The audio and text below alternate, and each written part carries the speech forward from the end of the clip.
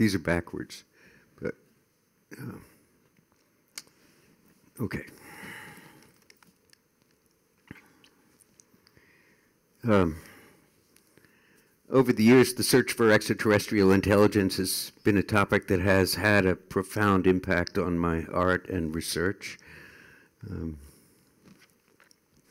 efforts to contact extraterrestrial intelligence inevitably call for concise answers to fundamental philosophical questions about who we are and what we know.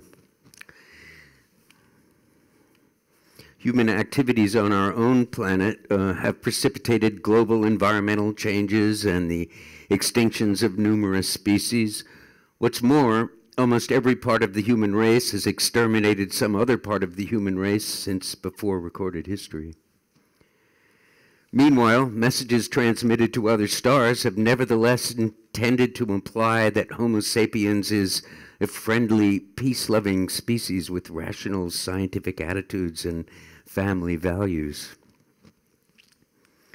While SETI messages include purported universal mathematics, graphics, and audio frequency content suitable for the human sensorium, any extraterrestrial sentience would be wildly unlikely to be compatible with our own. The least ambiguous parts of our most serious messages for extraterrestrials are the messages they contain for human beings themselves. We are, for instance, genetically far more similar with, say, tomatoes than with any conceivable alien species, but the tomatoes nevertheless refuse to speak to us. Over the past three decades, I've carried out several projects centered on ideas about extraterrestrial communications that have in turn given rise to new scientific techniques and inspired new forms of artistic practice. Microvenus was a proof of concept model for biological interstellar message carriers. Um, huge numbers of biological agents with robust archives can now be transmitted across vast astronomical distances and enormous periods of time. But an even newer form of interstellar transmission falls just within the realm of possibility. This would be an interstellar message created explicitly for, explicitly for human beings rather than for aliens, a swan song with precise reports about the human condition that might be used to break the wheel of time. But to properly explain all this, I'm going to have to back up a bit. In March 1975, Wisconsin Senator, U.S. Senator William Proxmire, sent out his first press release identifying wasteful government spending. He called these monthly bulletins Golden Fleece Awards, and they became a popular feature of his Senate tenure. In 1978, he awarded the National Aeronautics and Space Administration one of his Golden Fleece Awards for spending millions of dollars in efforts to find intelligent life in outer space.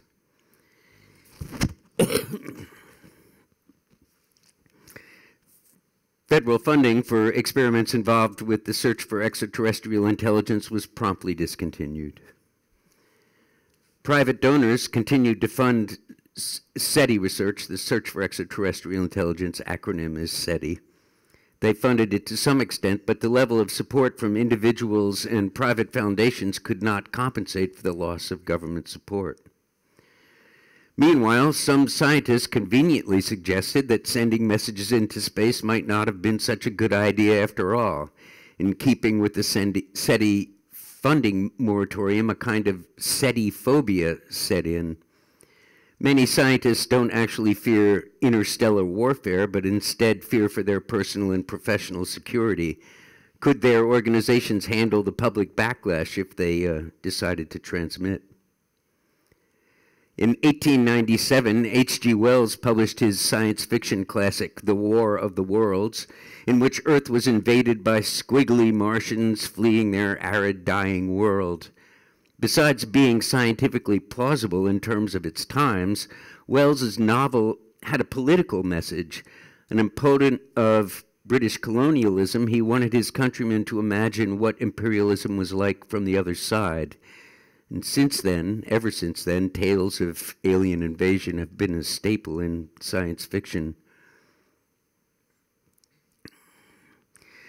Physicist Stephen Hawking has compared prospective contacts with advanced extraterrestrials with the disastrous initial contacts between European conquistadors and Native American civilizations.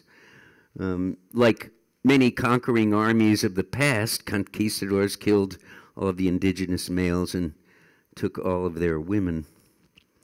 And so there is an obvious conclusion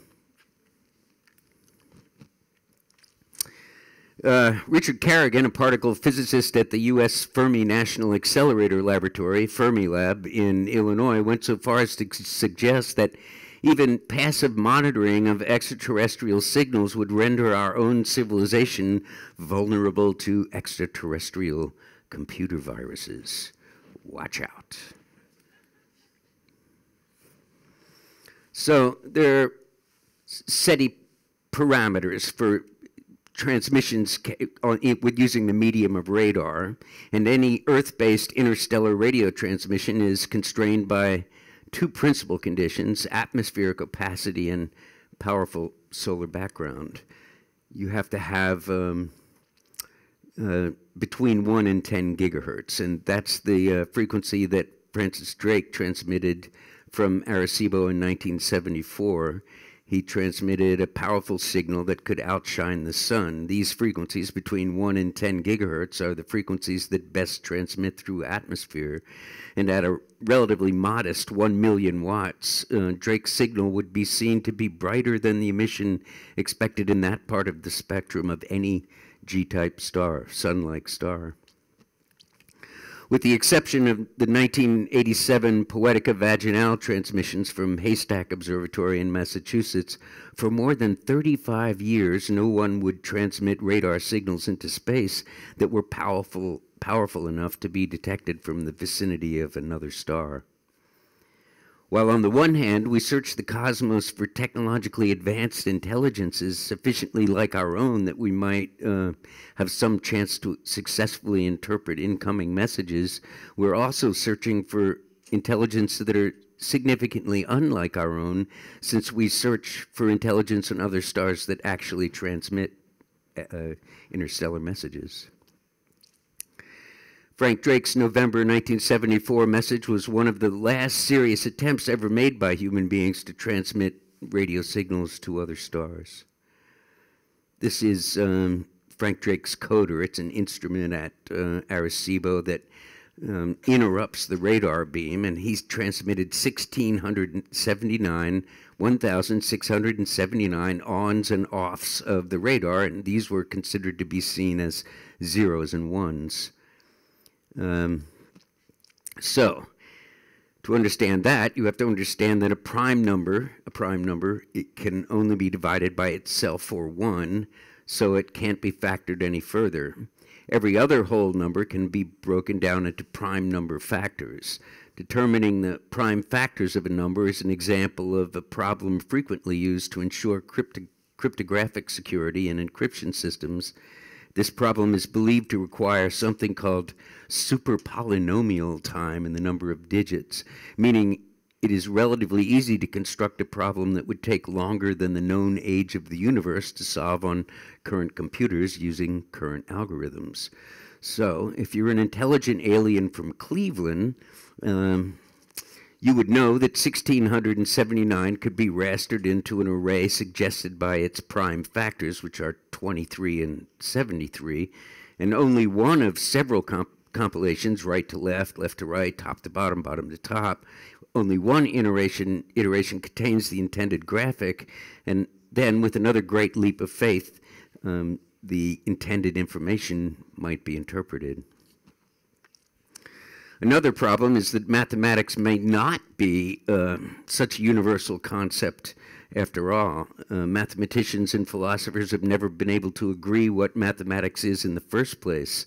Thus far, only Homo sapiens and closely related primates have exhibited any indication of mathematical comprehension whatsoever. So, let's see, in 1986, I reiterated uh, astronomer Frank Drake's 1679-bit uh, transmission from Arecibo in the form of 1,679 generic glass bottles in partition racks. Empty bottles represented the binary character 0, and water-filled bottles represented the binary character 1. Uh, these 1,679 characters contain Drake's universal message for extraterrestrial intelligence. I put these in the Hayden Science Library at MIT, where all the information you need to interpret the message exists, where all of the information the message refers to exists, and supposedly better than average terrestrial intelligence exists, but they just argued about whether it was art or not. So, in addition to messages encoded as radar signals, some interstellar messages have been sent out on board spacecraft. Pioneer 10 and 11 spacecraft in 1972 and 1973, respectively, were launched with trajectories that would ultimately take them beyond the local solar system. Um, they, they, contained incomplete uh, illustrations of human anatomy by L Linda Saltzman Sagan, uh, Carl Sagan's ex wife. Uh, Likewise, in 1977, Voyager 1 and Voyager 2 probes were launched in trajectories that would ultimately take them to interstellar space. These spacecraft also carried message materials intended for extraterrestrials. Both the Pioneer and Voyager messages contained censored images of human anatomy, either no nude human images at all, in the case of Pioneer, uh, nude human figures devoid of external female genitalia. Um, meanwhile, we're mystified by numerous reports of aliens coming down here to abduct us to experiment with our sex organs. They must be curious. So in 1986, I put together a project called Poetica Vaginale at Haystack Observatory, um, Millstone Radar at Haystack Observatory in Massachusetts. This is the uh, vaginal detector. Um, so we we used an analog to digital converter to create a binary map of the vaginal contractions, and and, the and we also created an analog map um, using the 1.07 millisecond radar pulses at 30 hertz center frequency. We phase modulated each one of these 1.07 millisecond pulses with an analog signal. And so Poetica Vaginale not only contained voluntary and involuntary vaginal contractions, but also the detector was so sensitive it uh, registered voice, respiration, heartbeat, and other autonomic audio frequency human physiological signals. In fact, this transmission contained more information about human beings than all other SETI messages combined.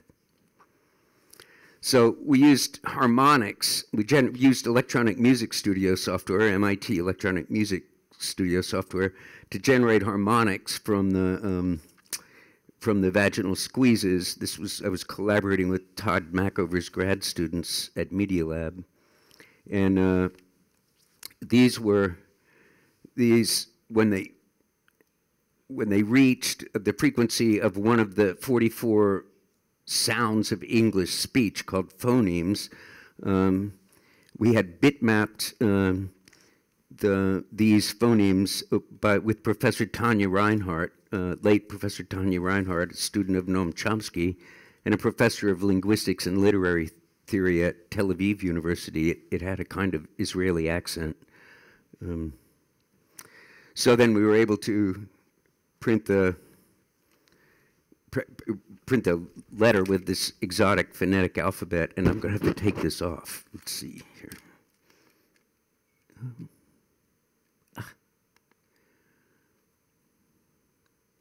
Bear with me just a second.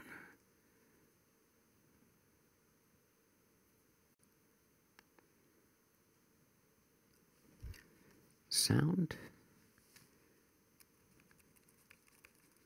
Is there sound? Try again.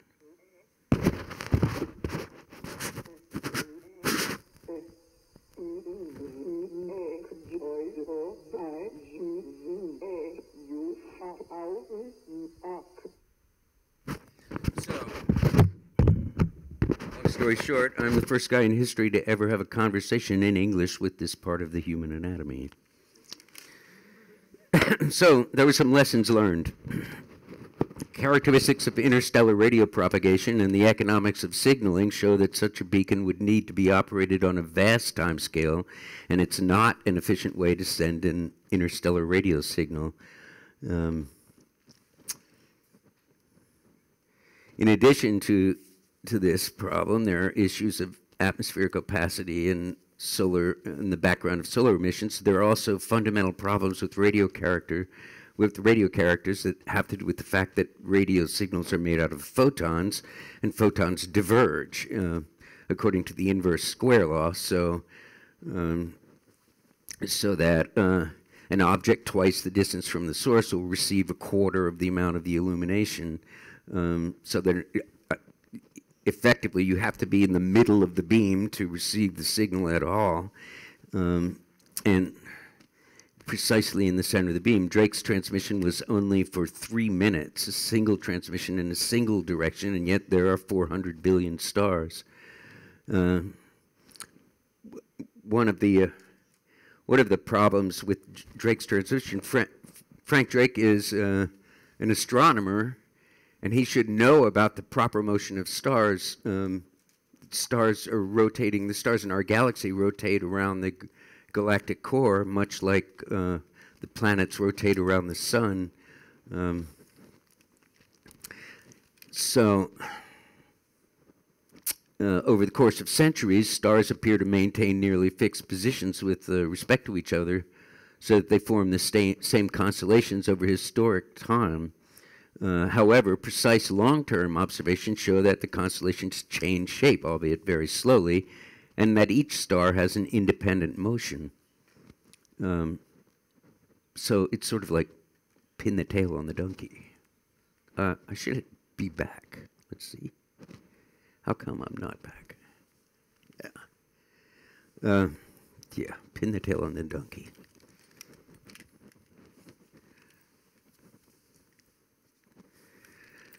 Uh, Another problem is that the speed of light is really a slow boat over astronomical distances. Homo sapiens appeared about mm, 100,000 years ago, approximate time of divergence from uh, the common ancestor of all modern human, human populations was about 200,000 years ago.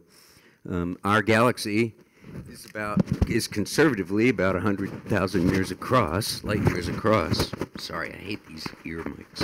Uh, so, if the mitochondrial Eve had managed to get the right frequency and the right power to transmit a signal to the other side of our own galaxy and had been received and immediately replied to, why the signal might not be back yet, and meanwhile um, Eve evolves into a different species. Um, so, even if Frank Drake's reasonably local SETI transmission ultimately proves to be successful, we're still going to be waiting in the chapel with fresh flowers for the spouse for 50,000 years, nude, descending and descending and descending the staircase, bachelors waiting to strip the bride bare. Uh, problems associated with messages attached to spacecraft are much worse. While while these are among the fastest objects ever created by human beings, they will not reach the planetary environment of another star for at least a billion years, which is as far ahead as anyone can predict. So there are three basic problems. You have to be robust. You have to be able to survive the message itself, must be able to survive the extremes of space of the space environment, temper, temperature, radiation, vacuum, etc. Um, you have to, this message must be able to remain intact for periods of geologic time, and it has to be abundant enough. There has to be hundreds of billions of copies for hundreds of billions of possible recipients, and for this, bacteria, especially sporulating bacteria, answer all these problems very well. I sat in a bar with my friend and colleague, uh, Dana Boyd, uh, the plow and stars. It's about halfway between Harvard and MIT, and we we calculated on the backs of napkins um, how many spores would fit into a pint of Guinness, a metric pint, 500 milliliters, and our our conclusion was that we would have about a million per star system in the Milky Way. That's not a lot, but it's someplace to start. So, like Poetica Vaginale, Microvenus was created to respond to arbitrary censorship of messages depicting human anatomy and messages human beings have sent to aliens. But it's also been widely uh, recognized as the first work of art to utilize techniques of molecular biology, the first bioart. Artists have long since been concerned with what I call issues of transanimation, power over those qualities of vitality and function that distinguish life and death. Um, here is Moses throwing down his staff, uh, Moses' rod, turning it into serpents, and Pharaoh's magicians did the same thing. But these stories uh, are reiterated over and over again, and through the history of culture and literature all over the world. There's stories of Midas and Medusa and Daphne and Syrinx and Xolotl and Quetzalcoatl and many others. My favorite one is the story of Pygmalion in Galatea. Pygmalion was a sculptor king in ancient Greece, and he, he carved this beautiful woman woman in, in stone, and he fell in love with his sculpture. And uh, he lamented so terribly that the goddess came and brought his sculpture to life. That was Galatea. So, in addition to these poetic motivations, Microvenus was created to represent possible technical solutions for problems associated with all attempts to use spacecraft and radar transmissions for interstellar communications. Um, Microvenus was the first genetically engineered work of art and the first use of bacteria to model um, biological carriers of interstellar messages.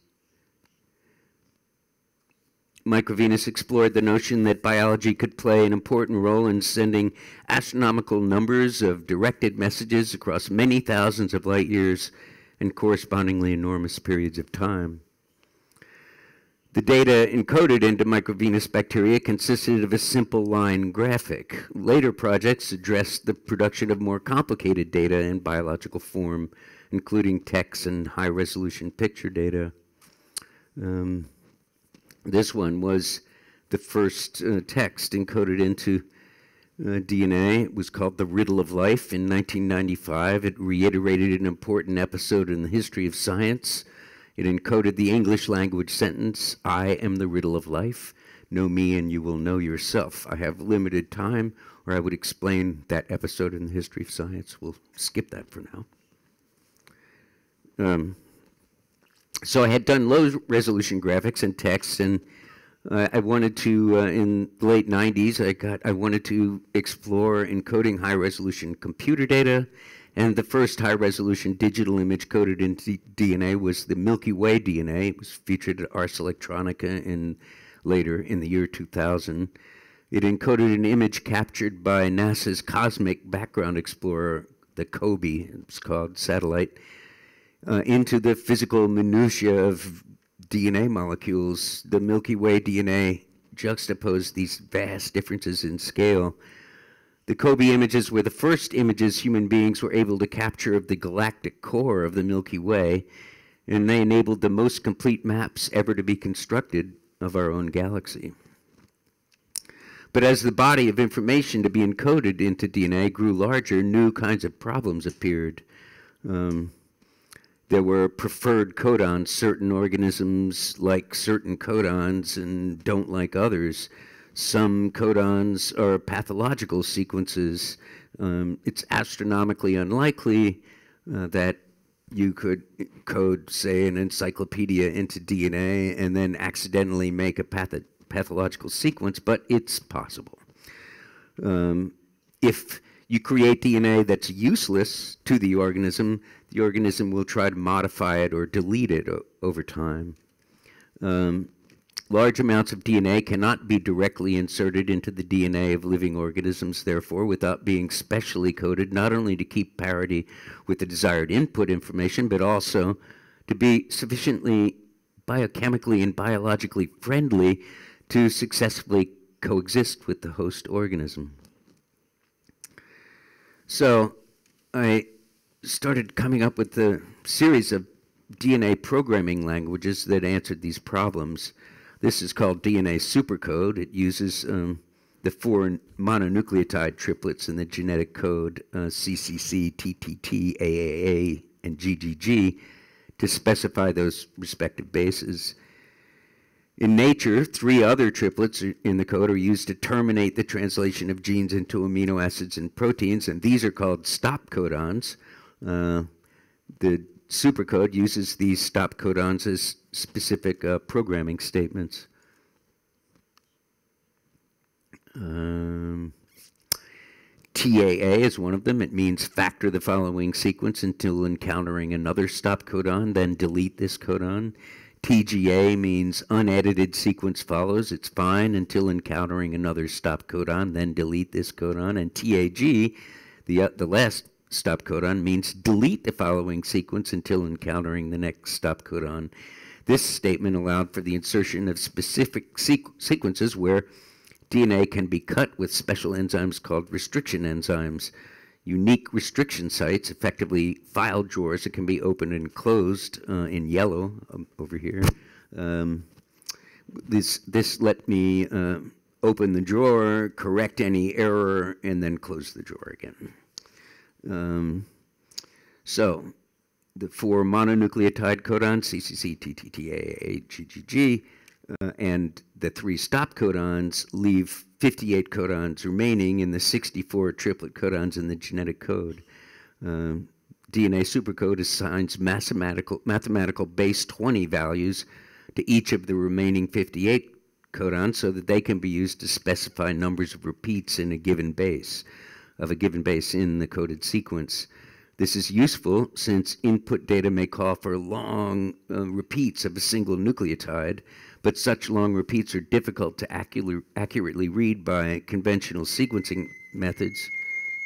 Sorry, Mars. Uh, um, uh, yeah, their long repeats are, can't be read by conventional sequencing methods, and because long repeats um, impart the same electromechanical torsions uh, time after time, to a strand of DNA causes loops and other curvilinear structures that can't be effectively processed by cellular machinery. Um, another problem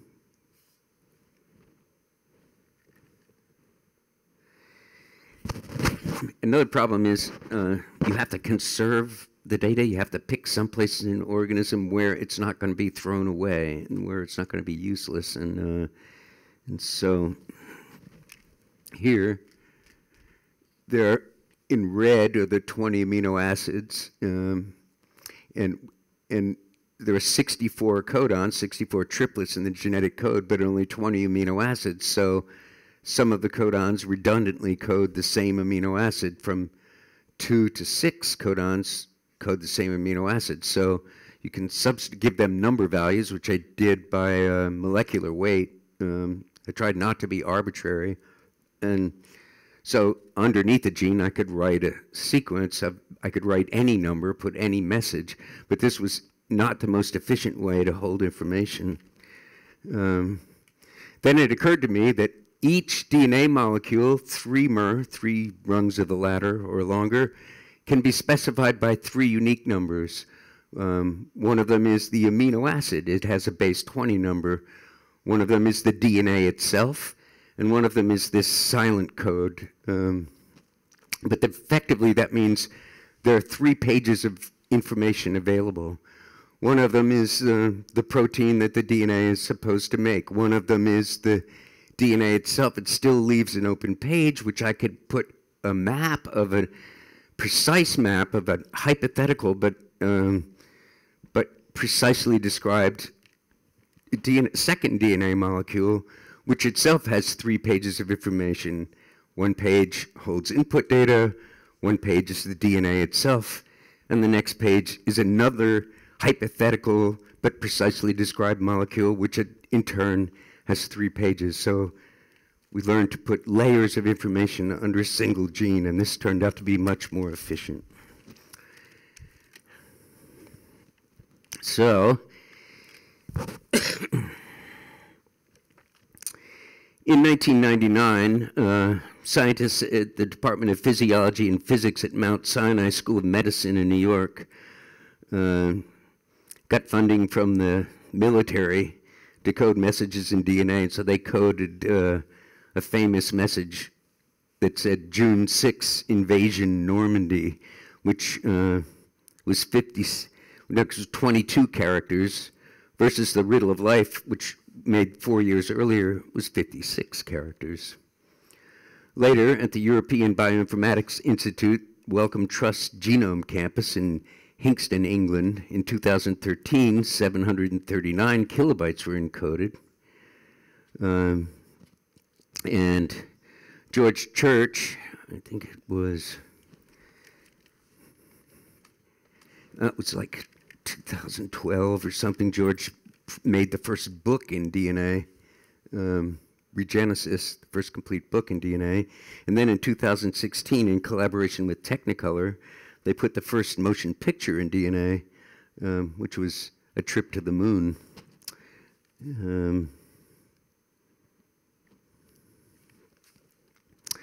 University of Washington and Microsoft researchers um, put 200 megabytes of data uh, in DNA in 2016. Um,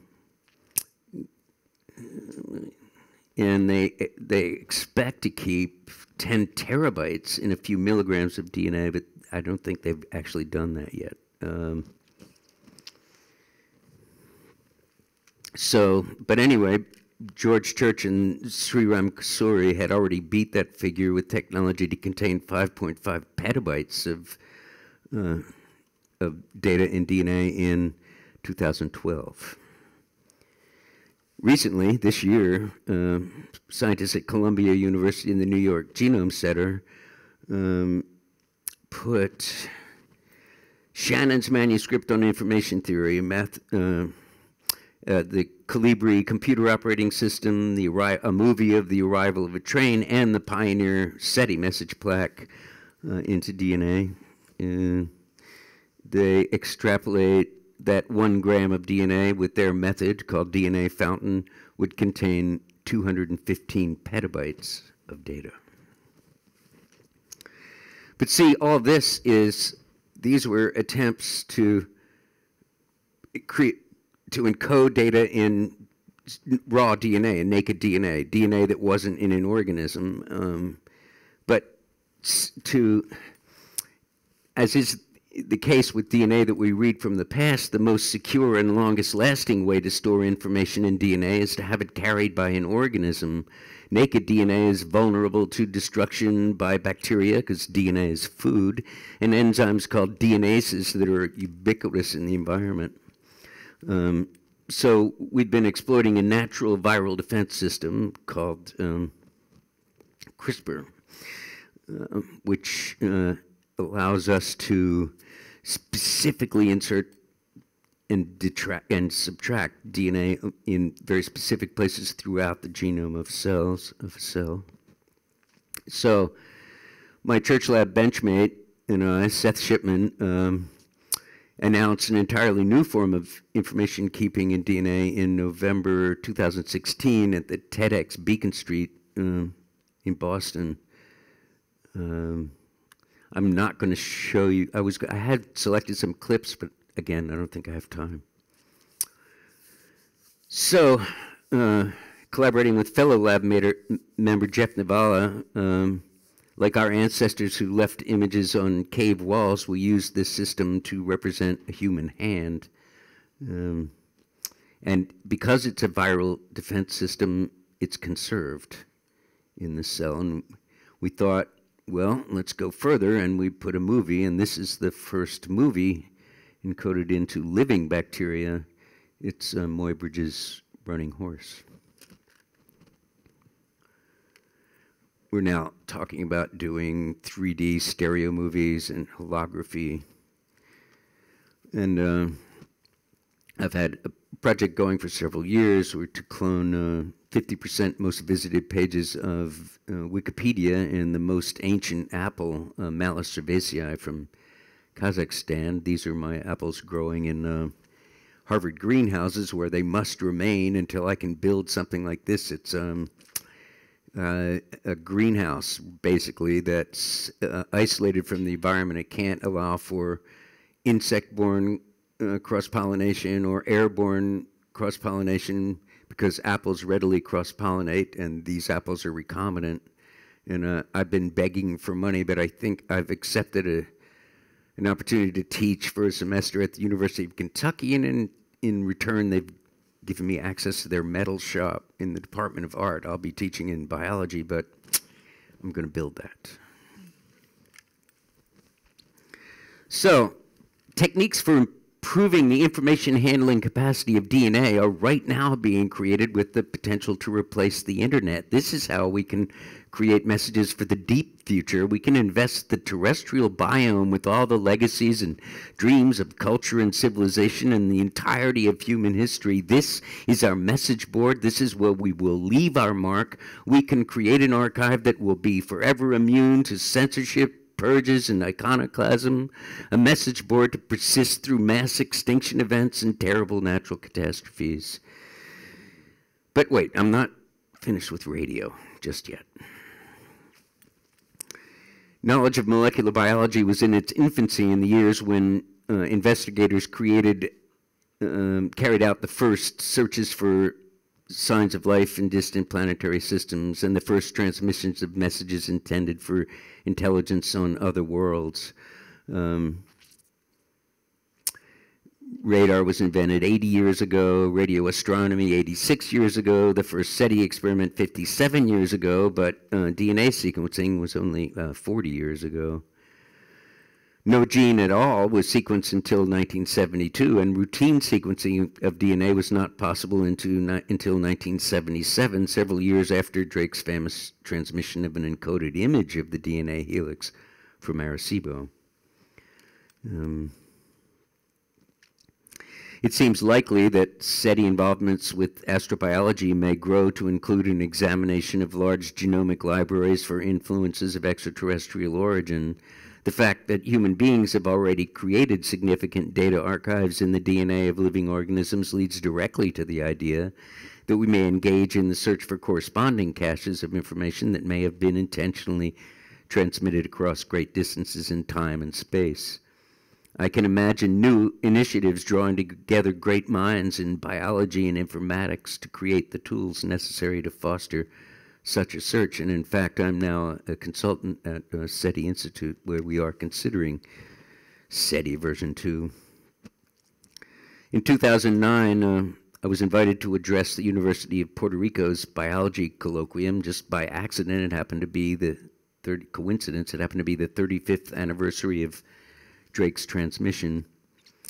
And so uh, my colleagues, um, Irving Vega and Al Wunderlich, who flew in from California. Al is the emeritus professor of painting from the Rhode Island School of Design. Uh, Ir Irving Vega is a professor of biology at uh, at the University of Puerto Rico, and so we approached Arecibo Observatory saying, we need to send biological messages into space.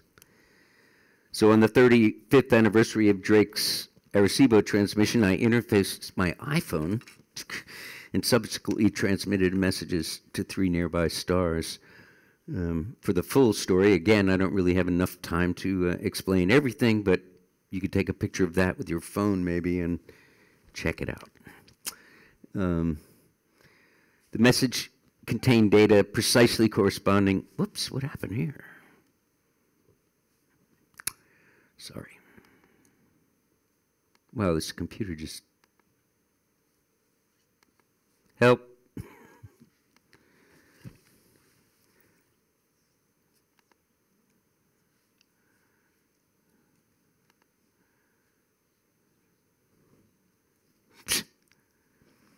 um, the, the message, reboot it. Just reboot. It's not even rebooting. Probably aliens.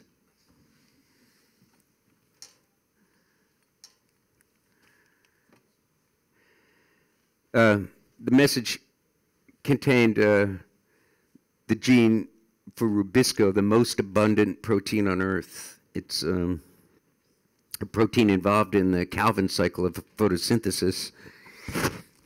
It takes inorganic carbon from the atmosphere and turns it into food. It's one of the most ancient and uh, one of the least efficient proteins. Um, its efficiency, the level of efficiency probably accounts for its abundance, but it is one of the most ancient proteins. We human beings don't have the gene for rubisco, but um, but all of the complex carbon we're made from was at one time or another created by this protein. So go to view presenter. Presenter. Presenter. There. Yes. Okay. Come on, wake up.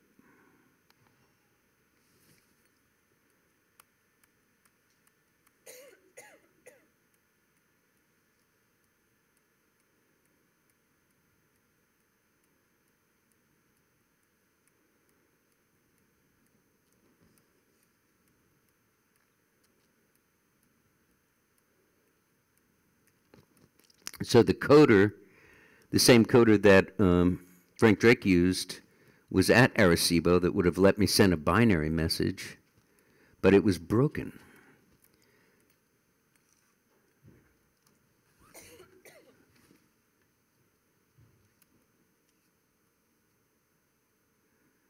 Yep, this is the Calvin cycle of. Uh, damn it! Ask for what? Uh, I think it asks you for a kind of a font that you don't have originally. And I can't tell what it says here. In your next slide, it was something he doesn't want to read. So skip it. Let's try. Can you just uh, skip that and jump on the next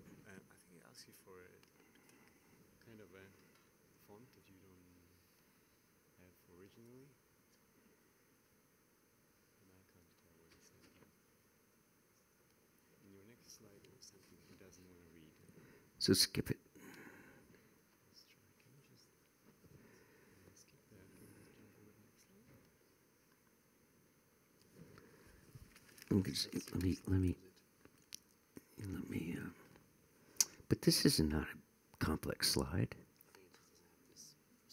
That's just a regular, that's just Calibri, it's a regular. So let's escape. All right. Try that one. So this is the the bitmap, the D, DNA converted to binary, um, which is only slightly larger than Frank Drake's original message, and this is the Rubisco gene converted to base four. Um, this is DNA and base four, which are the same CTAG, based on math zero, one, two, three. Um, this is Drake's coder, which was broken, and so I had to. I only had so much time in between experiments to uh, pull this off, and so I was racing against time to figure out how to do it. Um, so, uh, this is the riddle of life. This was the message um, that I coded into DNA in the 90s. But I was inspired by this message because it reiterates the edict of Apollo at the Temple of Delphi in Greece, where on the gates at the entrance of the temple it said, Know yourself, and you will know the secrets of the gods and the secrets of the universe. Um, and I coded these into, uh, into bacteria and to toothpicks. That's part of the history. Um, but I couldn't. Um, break up the message into uh, zeros and ones, and so I had to figure out a, uh, an analog way to put this information. And so I used for zero, one, two, three, or one, two, three, four. I used uh, one syllable, two syllables, three syllables, and four syllables in I am the know yourself riddle of life. And I don't. I know that alien intelligence wouldn't be conversant in English language, but the signal nevertheless contains discrete physical maxima punctuated with precise intervals. Um, let's see here. Um, so that the message holds a sequence of 1, 2, 3, and 4, or if extrapolated as DNA, the corresponding sequence of C, T, A, and G. Um, and so this is the message, part of the message for the gene. These are the stars, and this is the iPhone that transmitted the first interstellar phone call. Here we go.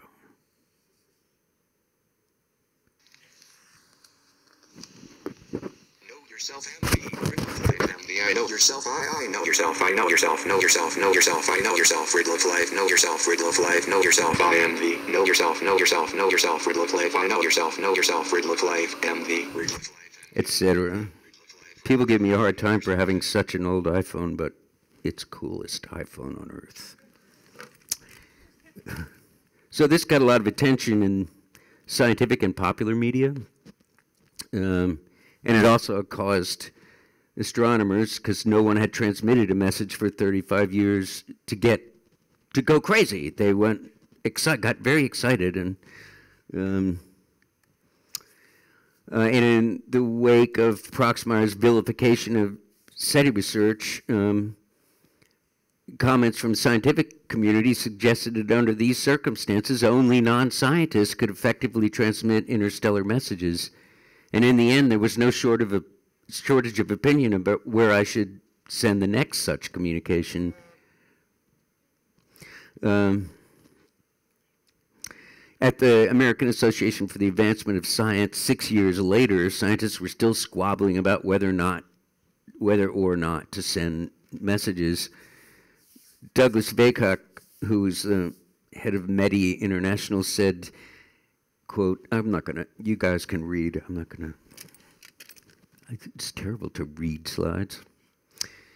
Uh, so,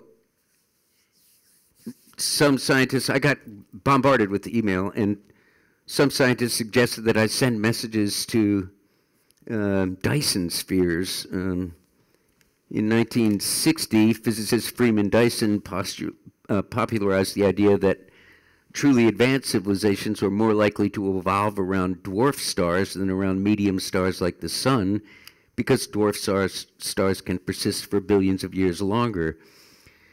He suggested that in order to soak up the maximum amount of radiation from these uh, small stars, that and a truly advanced civilization might engage in huge, gigantic astro engineering projects that would enclose their stars and span entire planetary systems. Um, I was told to look for an infrared source without a stellar companion, and that would be a that would be a Dyson sphere. But another response uh, submitted to a blog post about Rubisco stars. That was the name of the project that transmitted Rubisco turned out to be much more intriguing. The writer recommended that I transmit messages not to a star, but rather to a black hole. We got a black hole coming up here, don't we? Yes. So black holes are persistently mysterious entities that evoke a whole series of inexplicable paradoxes that continue to confuse physicists and probably very much to the universal delight of artists and philosophers. These paradoxes include the black hole information loss paradox, a complicated puzzle resulting from the combination of quantum mechanics and general relativity. The paradox arises because in every other case, all information about a particle must be permanently conserved. This also implies um, a violation of conservation of energy. Uh, problems with causality, which we'll discuss shortly, imply the famous grandfather paradox. And there's another one called the firewall paradox that seems to violate the principle that a particle cannot be fully entangled with two independent systems at the same time.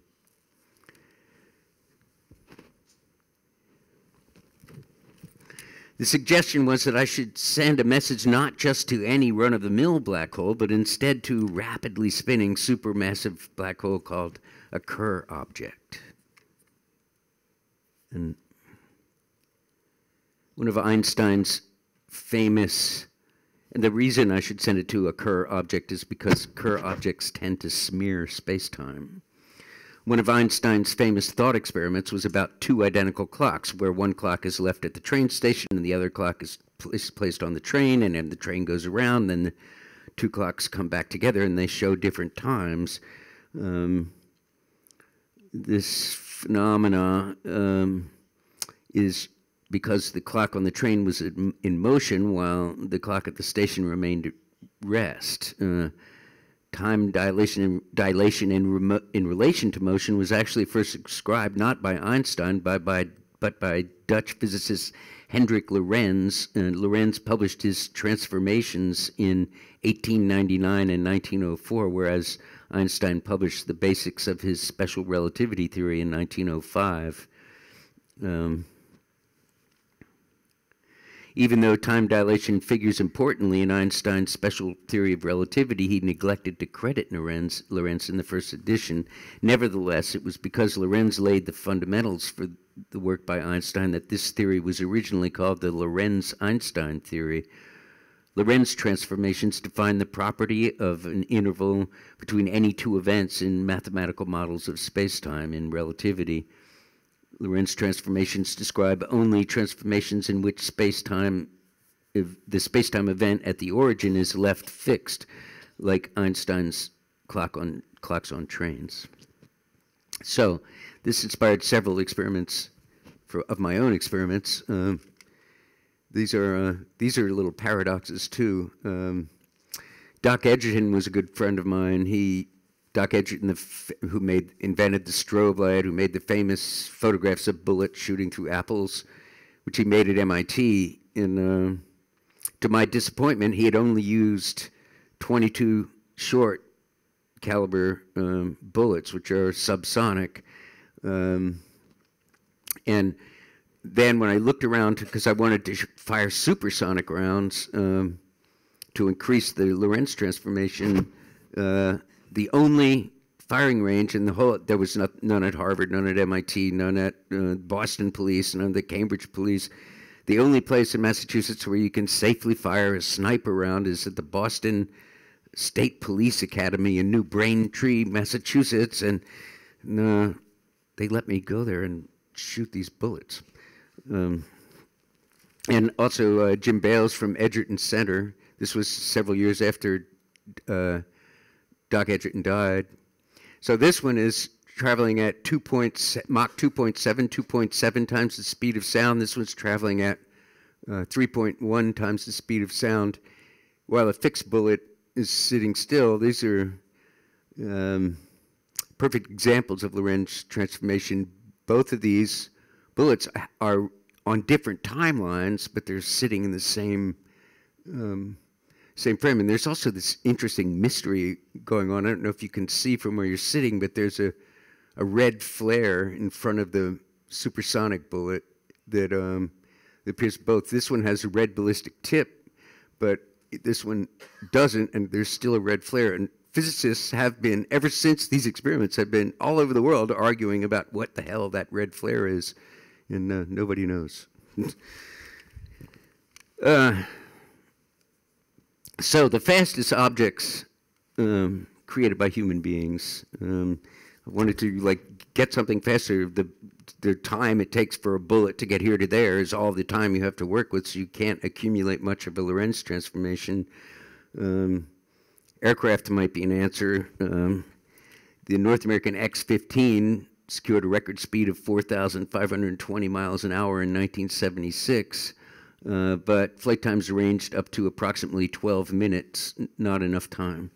And uh, in 1976, NASA launched the solar probe Helios 2 to measure electromagnetic radiation emanating from the sun. And it reached a top speed of 157,000 miles an hour, but we can never get it back, so I can't run an experiment. It's still in elliptical orbit around the sun.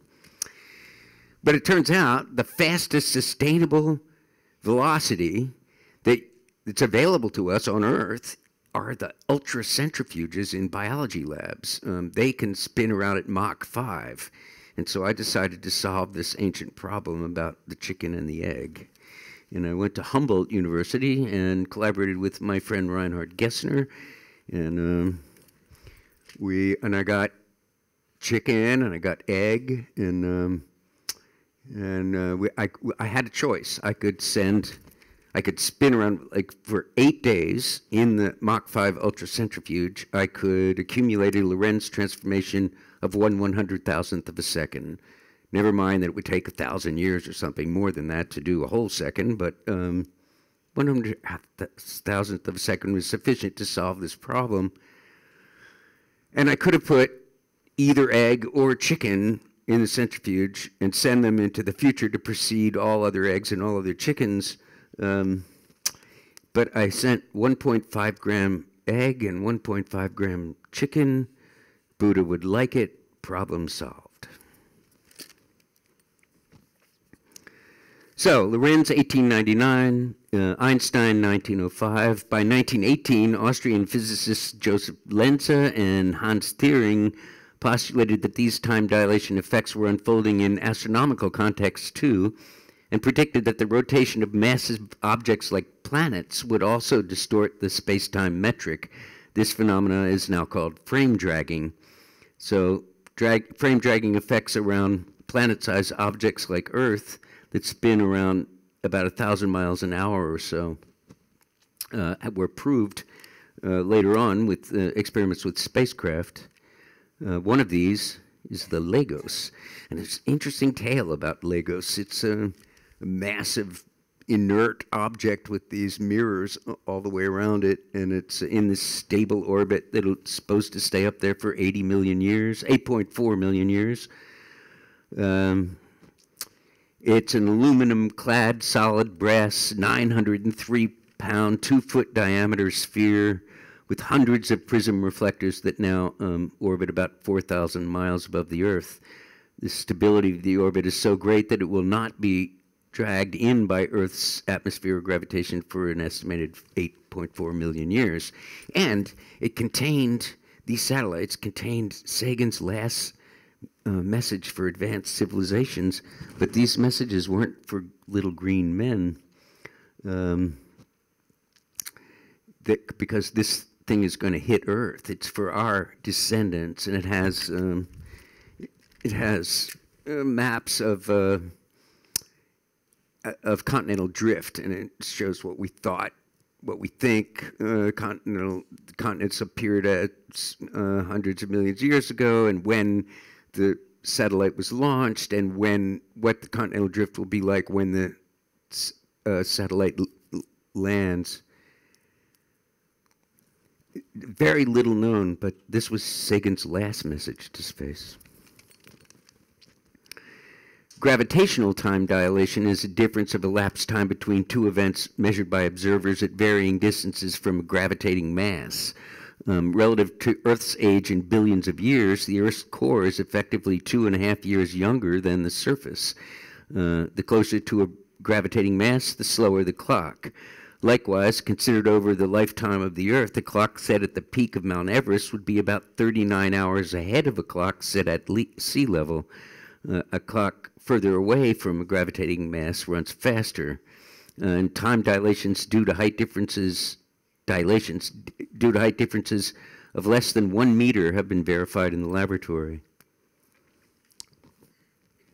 Uh, this effect is significant enough that global positioning systems, uh, artificial satellites, need to have their clocks corrected. And since everything in our universe seems to be rotating, differences in distance from a gravitational mass correspond with different rotational velocities, just like in the centrifuge, and orbits of greater angular velocity result in larger amounts of time dilation. These effects are assumed to be much more profound around extremely massive objects that rotate at relativistic speeds, like Kerr objects, uh, the spinning black hole. Owing to space-time distortions and depending on the mass and direction of rotations, phot photons would appear to move either faster or slower than light as they passed around such an object from the viewpoint of an observer, Depending on the observer's perspective, photons such as a radar signal might therefore be detected that would appear to be coming from either the past or the future. These enhanced frame dragging effects are expected to be confirmed within the next few years as uh, precise astrometric measurements of certain stars approaching the supermassive hole uh, at the black hole at the center of the Milky Way galaxies are measured. Um,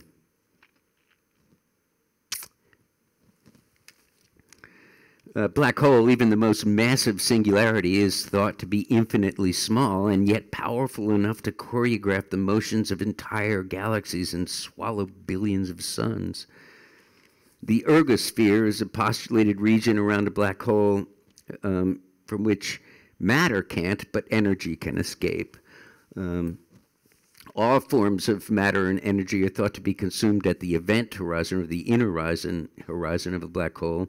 But unlike the fate of particles of matter, an electromagnetic wave, such as radar, that transited the Schwarzschild radius of, or ergosphere of a black hole would be stretched but not destroyed. Thus, any signal to be transmitted to the vicinity of a black hole would comprise a signal of the shortest possible initial wavelength. Likewise, the data content of any such signal may be highly compressed. Um, effects involving, involving photons and electromagnetic waves are not the only strange temporal effects thought to be associated with the rotation of supermassive objects. Physicists have described uh, phenomena occurring in the vicinity of black holes called closed time-like curves. In this special scenario, the destiny of a material particle, a particle of matter, in space-time is closed. That means it can return to its temporal starting point. Uh, the possibility of such an event was confirmed in 1949 by Kurt Gödel, who discovered a solution to the equations of general relativity known as the Gödel metric uh, an exact solution of the Einstein field equation that allowed for the existence of closed time-like curves. Gödel gave these calculations, this proof to Einstein on his birthday. Uh, since then, other solutions to general relativity uh, equations containing closed time-like curves have been found that imply at least the theoretical possibility of time travel backward in time. A message received from the message I received from the astronomy blog in 2009 implied that if I were to send a radar signal that would transit the ergosphere of a rapidly spinning black hole, it might be detected sometime in the past or future from the point of view of an observer, perhaps even before such a message was actually transmitted. Um, According to some general relativists, if an object were to pass through the center at an appropriate angle of incidence, the object might in effect pop out in a remote region of spacetime within our universe, past, present, or future, or into another universe, or perhaps into some weird parallel universe. My response to this was to compose a message called Swan Song to be transmitted to a black hole in the constellation Cygnus one of the most studied astronomical objects in its class. Cygnus is a summer constellation, still visible, I believe, now, and throughout the northern hemisphere. It's part of a binary star system about 6,070 light years from the Sun. The primary star in the system, HDE 226868, is a magnitude 9.0 massive supergiant, blue supergiant, listed in the Henry Draper extension the Henry Draper extension was published in 1920, between 1925 and 1936, and it's an expansion of the Henry Draper catalog of stars, and 1936 is key, as we will see. Unlike elaborately encrypted interstellar messages for extraterrestrials, for presumed extraterrestrial intelligence, Swan Song is an interstellar message for human beings, and as such, it's composed as an English language message in International Morse code.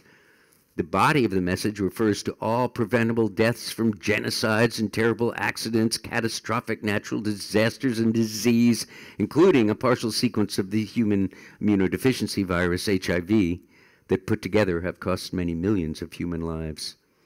Swan Song lists these calamities beginning in 1935 for good reason. So this is the message. Uh, it's all the most. It's like I have an hour between experiments when the radar systems are checked out for performance before the next experiment starts. And um, that's how I was able to send Rubisco. It was all confined to this limit. So it was like editing human lives. It was a difficult message to construct. Um, but it goes on. It's a dark, dark message. HIV sequence. This swan song may, in fact, be the last song. Granted, it may, in fact, be astronomically unlikely that such a message would excuse me, ever be successfully received, but if it were, the receiver will have to have detected it with radar, which wasn't invented until 1935. The first radio telescope was created in 1931 by Karl Jansky, an electrical engineer, an American electrical engineer, Grote Reber, uh, inspired by Jansky's work, and built a parabolic radio telescope uh, in his backyard in 1937. Uh, the message, uh, well, this guy, Robert Watson Watt, um, and his colleague Arnold Wilkins successfully, first successfully demonstrated radar using a BBC transmitter uh, in 1935. So, let's see. It, it doesn't really matter uh, so long as the it does so it's 6,070 light years away. It doesn't matter uh, if how far away it is, so long as it gets shifted sufficiently into the past. Um, if successful, the message will would I'm having trouble with tense here. Will would have arrived long before the message was actually transmitted in any case. Um, and there's some strange twist to this story. There's something called fast radio bursts, or FRBs. The first of these events was announced in 2007. They're radio waves that are polarized in such a way that suggests that they had transmitted near extremely dense, massive objects, uh, or objects with extremely powerful magnetic fields. The brevity of these bursts means that their source has to be small, hundreds of kilometers across at most, so they can't be from ordinary stars.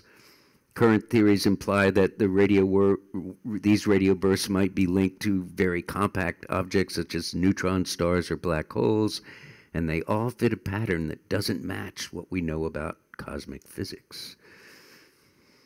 To calculate how far the bursts have come, astronomers use a concept called the dispersion measure. Each burst covers a range of radio frequencies, um, and electrons in space scatter and delay the radiation so that higher frequency waves make it across space faster than lower frequency waves. And the more space the signal crosses, the bigger the difference or dispersion measure between the arrival time of high and low frequencies and the further the signal has traveled. If taken at face value, these dispersion measurements would imply sources for bursts at all at precisely regularly spaced distances from the Earth, but billions of light years away. Of course, no one knows what sort of signature would be imparted to a signal traveling backward through time. Astronomers have proposed a range of exotic hypothetical explanations for FRBs, including collisions of neutron stars and various entirely theoretical entities, including extragalactic, extremely distant blazars and magnetars. There are now more theories for FRB origins than there are observed FRBs. Some scientists say a more likely explanation is that the FRBs come from somewhere much closer to home, from a group of objects within the Milky Way that nat naturally emit shorter radio frequencies after higher radio frequencies. Um, stranger still is the fact that these fast radio burst dispersion measures are all multiples of a single magic number, 187.5. No known natural process can explain this. Another very good question is just why do these um, uh, dispersion measures have such a strong correlation to Earth's integer second? There is only a 5 in 10,000 possibility that this lineup is coincidence. A most tantalizing, if remote, possibility is that the source of these bursts might be a who and not a what. If none of the natural explanations pan out, an artificial source, human or non human, must be considered. Occam's razor. So in 2010, I reapproached Arecibo Observatory to solicit the transmission of Swan Song, and at that point, Arecibo was in a process of administrative transition, and permission to transmit the message was declined. Um, I also approached MIT's Haystack Observatory, where I had transmitted Poetica Vaginale. I promised no vaginas.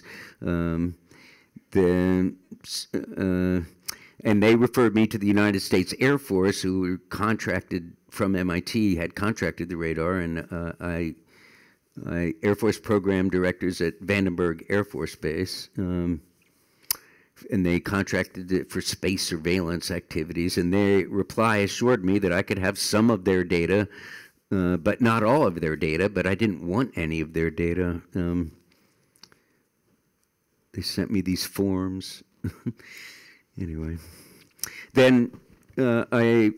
By this time, I had contacts in the international astronomy community, and I approached um, uh, Evpatoria radar in peacetime Ukraine, uh, but it was unavailable owing to diminished service lifetimes of then irreplaceable components, these huge klystron tubes that were uh, critical to radar performance. Um, this 70 meter radar at Evpatoria is the second largest radio telescope in the world. So I just sort of got the notion that everybody wanted some of these people to die. Why was everybody turning me down? Um, this wasn't uh, you know, this was to save the world.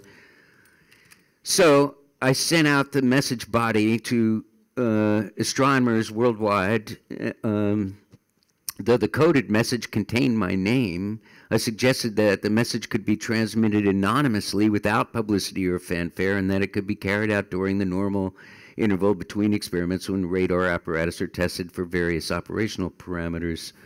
Um, and I, I also said, in order to protect the privacy of collaborators, that it wouldn't be necessary to notify me personally that the Swan Song message was actually transmitted. According to plan, I got no response or acknowledgement for astronomers for several weeks. Then, a very strange message appeared in my mailbox from an astronomer at Cornell. He brought to my attention the book Star Begotten, A Biological Fantasia by H.G. Wells, which was published in 1937 and dedicated to Wells's friend Winston Spencer Churchill. Now, I'm a pretty avid, I, I have to read a lot of technical literature, but I'm an avid recreational reader too, and I read a lot of science fiction, and I have never, had never heard of this book. Um, Wells's book is about Joe Davis, and biological messages from space. Um, chapter 1 The mind of Mr. Joseph Davis is greatly troubled. Chapter 2 Mr. Joseph Davis learns about cosmic rays. Uh, Winston Churchill had radar in 1937, which is why a few years later England won the Battle of Britain in the air war against Germany. Um, Battle of Britain with 2,600 Luftwaffe planes to the Royal Air Force's 640. It was the use of radar that turned the tide. So if you don't believe me, there's the URL to the Project Gutenberg um, text. This year, um, a manuscript written by Churchill about alien life appeared. It hasn't been released. It was reviewed by a scientist in uh, um, in the journal Nature, I believe. Yep, and uh, uh, it's not being released for some reason. Mysteries. So. How to Survive in a Strange World After Sliding into an Alternate Timeline. I mean, will we know the timeline has changed? I mean, if the message was transmitted and it was received, then the timeline would change, and then the next Joe Davis would press the button and a different message would be sent, and the next it's causality paradox. Um, in the last few days, we've heard quite a few about quite a few apocalyptic scenarios, extinctions, events raining down from heaven, and the suffocating menace we pour into our own atmosphere as a result of a human appetite for energy. We live in a scary world. There are a lot of bad dreams out there, and the scarier it gets, scarier it gets, the more bad dreams seem to appear, and that's the problem. Returning to the legend of Pygmalion for a moment, we can see that there is a form of transanimation that we neglected to consider before. This is not transformation of base metals or mythological beasts. This one, a Pygmalion effect in social science and psychology that shows how we bring our beliefs to life. Our beliefs about others influence our actions, which in turn impact the beliefs of others about ourselves. These beliefs then lead to or cause the actions of others that in turn reinforce our beliefs about them. This process of self fulfilling prophecy has been a topic of study in sociology and psychology and in philosophy. Uh, if we decide in advance that Friday the 13th is going to be a really bad day, it probably will be. So, since all of our dreams are going to come true, then we're going to have to kind of count on some of us having a few good dreams. Feeling lucky? Perhaps it shouldn't be surprising that a project like Swan Song would find itself connected with science fiction. Granted, the connection between Swan Song and H.G. Wells may simply be strange and serendipitous coincidence, but a plot element in another science fiction story, Larry Niven's Ringworld, suggests that serendipity itself may become a directed, tangible quality. Niven's Ringworld introduces a fictional alien race called Pierson's Puppeteers who carry on secret genetic experiments with human beings for six generations. The purpose of these experiments was to enhance the good luck, or what might be called a propensity for serendipity, through surreptitious breeding of human subjects. Teela Brown was a Ringworld character who had been genetically selected for luck. The alien puppeteers saw to it that human reproduction would be affected by chance so that luckier people would have more children, and those children would in turn inherit that luck. Through the process of natural selection, the quality of luck was expected to become more robust and widespread in each successive generation. In point of fact, serendipitous phenomena are sufficiently commonplace that almost every human being in the course of an average lifetime is likely to encounter such an experience. These can include highly improbable experiences like winning the lottery, I won the lottery, um, or surviving a plane crash, or more mundane occurrences like being in the right place at the right time or running into friends in distant places, this history of scientific discovery it contains many examples of unexpected accidents that through some form of enabled reasoning or clever deduction are newly transformed into opportunity. These have included the discoveries of radioactivity, nuclear fission, cosmic microwave background, X-rays, electromagnetism, electric current, plastic, penicillin, hallucinogenic properties of LSD, and many more. Serendipity, like other basically intangible qualities, uh, creativity, love, altruism, grace, patience, charm, may not seem to be appropriate subjects uh, for influences of inheritance and genetics, but there are no reasons to believe that such correlations are absolutely impossible. Investigations of some of these behaviors have been undertaken in terms of psychology, cognitive science, information science, and economics, but until now, no serious biological or genetic studies of serendipity have ever been initiated. In reality, production of enhanced or desired traits in Homo sapiens, such as those envisioned in Niven's Ringworld, would require hundreds of years. By comparison, a single ge generation of laboratory mice can pr be produced in only 12 weeks. So, like Niven's puppeteers, I decided to investigate the genetics of serendipity in the laboratory using 100 outbred heterozygous mice. Lucky mouse. Uh, my current experiment involves a mouse facility at the University of Kentucky and is being jointly investigated by professors Ashley Seifert and Jeremy Van Cleve of University of Kentucky, Dana Dalbo of Concordia University in Montreal, myself, Eswar Iyer, and others at Harvard's George Church Laboratory, and Larissa Belcic, a landscape architect committed to understanding the aesthetics and humane values of human-animal interactions. Eswar and I have built several machines that allow mice to throw dice. Uh, this is mouse machine version 2, less friction with point bearings and more efficient reduction drive. Um, this is Ashley Seifert with mouse machine version 3, which is already morphed, and version 4 is currently underway. Uh, we are doing this in the right way. Uh, I mean, first suggestion was, oh, we can just do this in the garage and we'll be able to tell if we have a lucky mouse, but nobody, if, if we don't go through all of the protocols um, for animal care and use, and uh, they would say, "You, those guys didn't do it right," and so we are. We're doing 100. Our forms of 112 pages of animal care and use protocols. We're faithfully observing all experimental protocols for animal use. We've included sophisticated statistical analysis and using techniques of mammalian genetics. We'll crossbreed high rollers as well as low rollers for control, and we expect to produce four generations in about one year. Thanks.